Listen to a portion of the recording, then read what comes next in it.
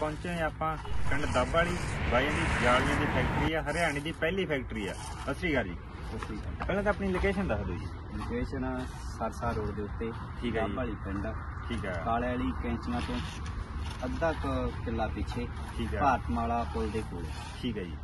ਆਪਣੇ ਕੋਲੇ ਕਿਵੇਂ ਜਾਲੀਆਂ ਹੋ ਗਈਆਂ ਜੀ? ਹਾਂਜੀ। ਢੋਡੇ ਹੋ ਗਏ। ਹਾਂਜੀ। ਤੇ ਕਿਵੇਂ ਪੱਤੇ ਹੋ ਗਏ ਜੀ? ਹਾਂਜੀ। ਤੇ ਪਾਵੇ ਹੋ ਗਏ। ਦੇ ਤੇ ਜਾਲੀਆਂ ਕਿਵੇਂ ਕਿੰਨੇ ਪ੍ਰਕਾਰ ਦੀਆਂ ਜੀ ਆਪਣੇ ਕੋਲੇ? ਜਾਲੀਆਂ ਆਪਣੇ ਕੋਲੇ ਬਹੁਤ ਪ੍ਰਕਾਰ ਦੀਆਂ ਬਾਈ। ਠੀਕ ਹੈ ਜੀ। ਬੜੀ 25 ਤਰ੍ਹਾਂ ਦੇ ਡਿਜ਼ਾਈਨ ਹੈ। ਠੀਕ ਆ ਦੋ ਵੇ ਚਾਰ ਦੀਆਂ ਠੀਕ ਆ ਦੋ ਤਿੰਨ ਦੀਆਂ ਠੀਕ ਆ ਡੇਢ ਤਿੰਨ। ਠੀਕ ਆ ਫੁੱਟ ਬਾਈ ਫੁੱਟ। ਠੀਕ ਆ ਪਾਵੇ ਆ ਚਾਰ ਪੰਜ ਤਰ੍ਹਾਂ ਦੇ ਪਾਵੇ ਆ। ਠੀਕ ਹੈ ਜੀ। ਹੋਰ ਬਹੁਤ ਡਿਜ਼ਾਈਨ ਹੈ ਜਾਲੀਆਂ। ਆਪਣੇ ਕੋਲੇ ਖਾਸੀਅਤ ਦੱਸੋ ਜਾਲੀਆਂ ਦੀ ਕੀ ਹੈ ਜੀ? ਕਿਹੜੀ ਆਪਣੇ ਕੋਲ ਹੀ ਆਵੇ ਵਾਲਾ ਲੈਣਾ? ਖਾਸੀਅਤ ਖਾਸੀਅਤ ਤਾਂ ਵੱਡੇ ਭਾਈ ਆਏ ਆ। ਸੰਨਿਕ ਦਾ ਮਾਲ ਹੈ। ਠੀਕ ਹੈ ਜੀ। ਕ੍ਰੈਸ਼ਰ ਬਜਰੀ ਦਾ ਮਾਲ ਹੈ। ਠੀਕ ਆ 43 ਗ੍ਰੇਡ ਸੀਮੈਂਟ ਬਣਾਉਣੇ ਆ। ਠੀਕ ਹੈ ਜੀ। ਨਹਿਰ ਦੇ ਪਾਣੀ ਬਣਾਉਣੇ ਨਹਿਰ ਦੇ ਪਾਣੀ 'ਚ। ਹਾਂ ਪਾਣੀ ਨਹਿਰ ਦਾ ਪਾਣੀ ਕੋਈ ਚੈੱਕ ਵੀ ਕਰਾ ਸਕਦਾ। ਠੀਕ ਹੈ। ਵੱਡੀ ਗੱਲ। ਤੇ ਜੀ ਫੁੱਲਣ ਦੀ ਕੋਈ ਦਿੱਕਤ ਜੀ?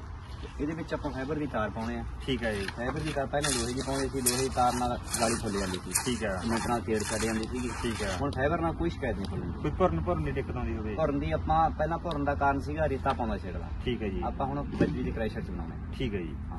ਠੀਕ ਆ ਤੇ ਮੈਨੂੰ ਕਿਹੜੀ ਆਪਣੀ ਜਾਲੀਆਂ ਨੇ ਜੀ? ਹਾਂਜੀ। ਜੇ ਕਿਸੇ ਨੇ ਸੁੱਥੋਂ ਉਹਦਾ 25 26 ਪ੍ਰਕਾਰ ਦੀਆਂ ਆਪਣੇ ਕੋਲ ਹੈਗੀਆਂ ਜੀ। ਹੂੰ। ਜੇ ਕਿਸੇ ਨੇ ਵੱਖਰਾ ਡਿਜ਼ਾਈਨ ਤਿਆਰ ਕਰਾਉਣਾ ਜੀ। ਉਹ ਵੀ ਕਰ ਦਿੰਨੇ। ਪਹਿਲਾਂ 10 15 ਦਿਨ ਪਹਿਲਾਂ ਦੱਸ ਦੇ ਅਗਲਾ ਠੀਕ ਹੈ। ਤਿਆਰ ਕਰ ਠੀਕ ਆ। ਤੇ ਜੇ ਕਿਸੇ ਨੇ ਕੋਲੇ ਖੜ ਕੇ ਜਾਲੀ ਤਿਆਰ ਕਰਾਉਣੀ ਕੋਲੇ ਕੋਈ ਡਰ ਨਹੀਂ ਕੋਲੇ ਖੜ ਕੇ ਤਿਆਰ ਕਰਾ ਲਓ ਠੀਕ ਆ। 2 ਬਈ 4 ਦੀ। ਠੀਕ ਹੈ ਜੀ। ਆ ਥੱਲੇ ਪਈ ਇਹ ਵੀ 2 ਬਈ 4 ਦੋ ਦੀ ਬਈ ਹੈ। ਚਾਰ ਦੀ। ਤੇ ਆਪਾਂ ਮਿੱਤਰੋ ਤਿਆਰ ਕਰਦੇ ਵੀ। ਤੁਹਾਨੂੰ ਦਿਖਾ ਦਾਂਗੇ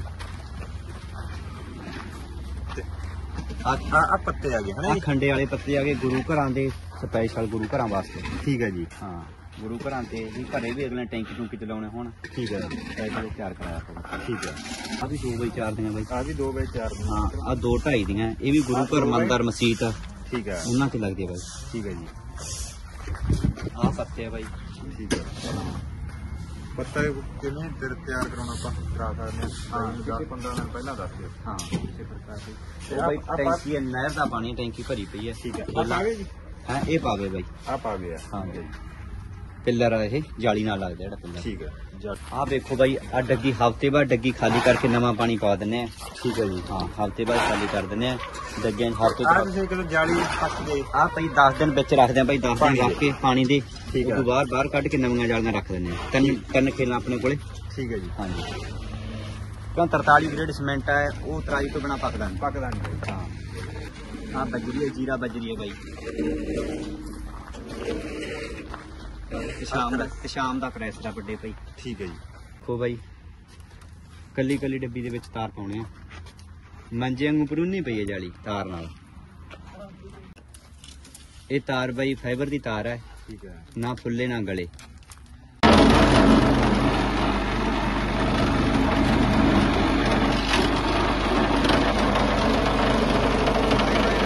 ਜਾਲੀਆਂ ਬਣਦੀਆਂ ਤੇ ਦੇਖਿਆ। ਤੇ ਪਾਵਾ ਬਣਦਾ ਵੀ ਚੱਕਰ ਕੱਲੇ ਕੱਲੇ ਪਾਵੇ ਦੀ ਗੱਲ